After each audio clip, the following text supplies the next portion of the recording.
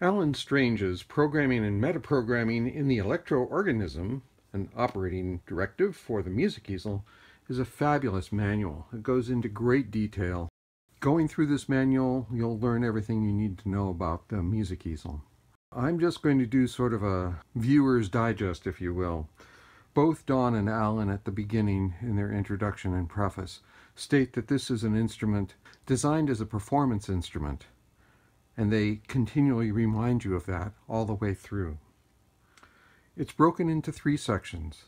The first section is acoustic resources and covers patch charts 1 through 4.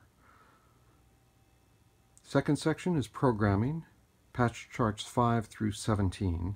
And finally, the third section, metaprogramming, which looks at using the program card and soldering up your own custom patches is patch charts 18 through 21.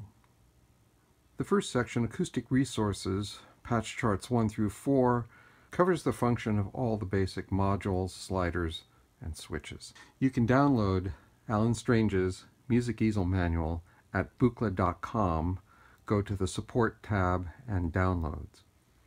If you're looking for a video that covers most of what happens in this first section of acoustic resources, I recommend the links in the description of this YouTube.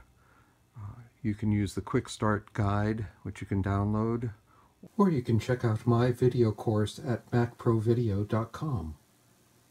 Section 2, Programming, begins with patch chart 5.